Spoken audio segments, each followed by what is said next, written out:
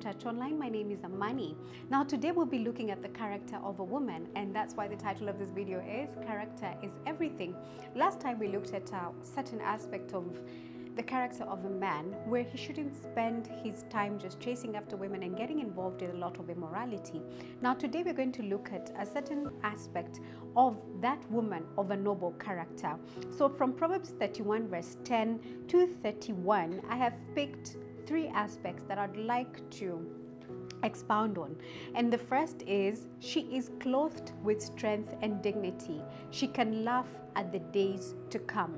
I think one of the things that is a misconception, especially these days, and of course, there's nothing new under the sun, is how you dress.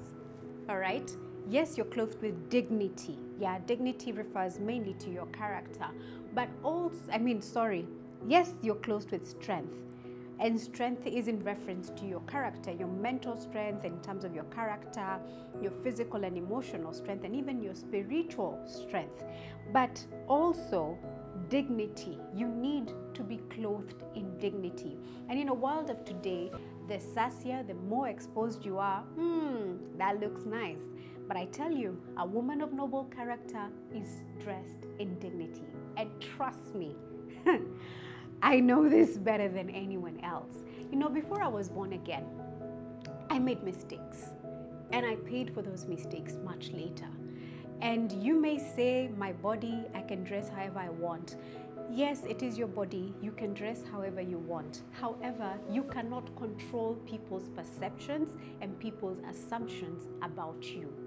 Once you go a little bit too far, an assumption will be made about your character, and an assumption will be made about how you carry yourself.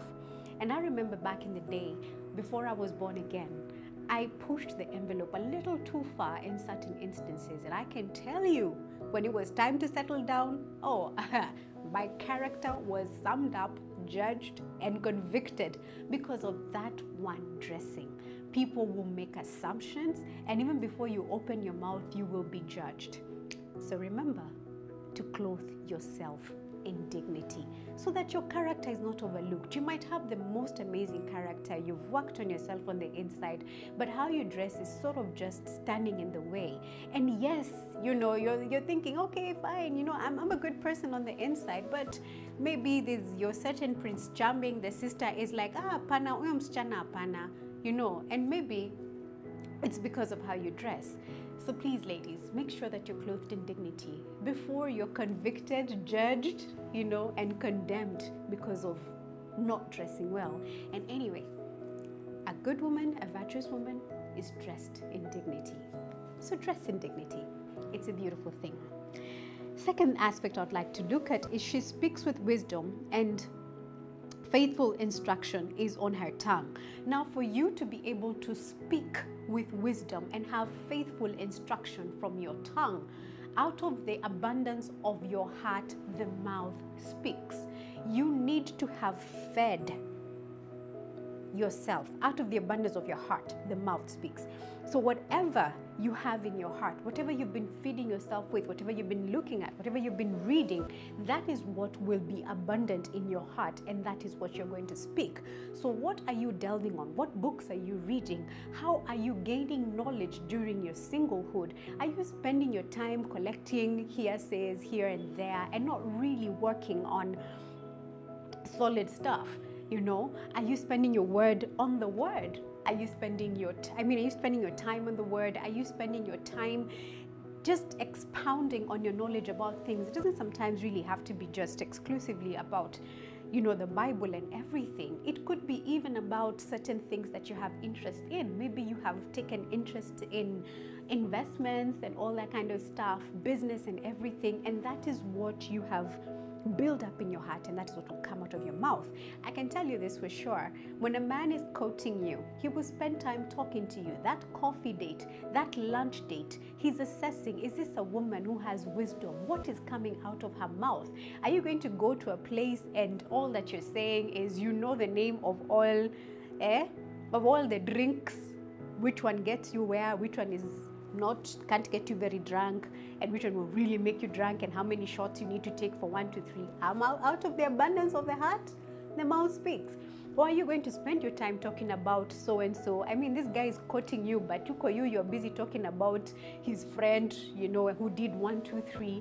Let that sit down over coffee be one full of wisdom that he will go home and think, wow, that woman, she's something. She's Ruby, or more than a Ruby, right? Exactly. Now, the third aspect is charm is deceptive and beauty is fleeting, but a woman who fears the Lord is to be praised. After all is said and done, that woman that is God fearing, that woman that finds her solace and strength in the Lord, is the ultimate victorious woman. I spent so many years being single, and I can tell you this for sure. Eh? A dude will spend his life in the bar, chasing chicks out there, doing everything. By the time he decides to settle down, he's going to go for that lady that fears the Lord. 90% of them will do that. Now, your relationship with God should not be based on the fact of trying to end up with a man.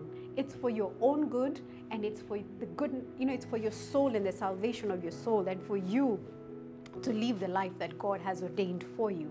But most importantly, there are benefits of being found in the Lord. That guy, Prince Charming, settles with the woman who is virtuous and the woman who fears the Lord. Not really the most gorgeous woman. I mean, good for you if you're blessed with looks. But can you imagine if God has blessed you with amazing looks that are, you know, appealing to a lot of people? And on top of that, you're a woman who fears the Lord and you have your sound grounding on God. You are worth more than a ruby. And also, beauty lies in the eyes of the beholder. What may seem beautiful to one person may not really be beautiful to another. So, beauty is relative to some extent.